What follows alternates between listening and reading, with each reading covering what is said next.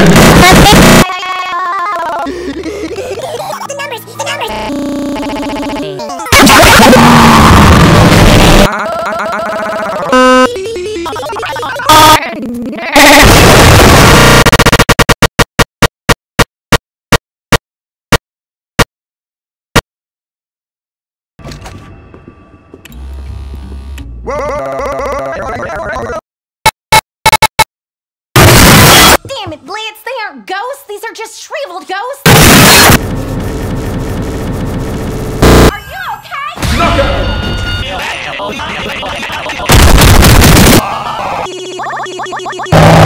Knock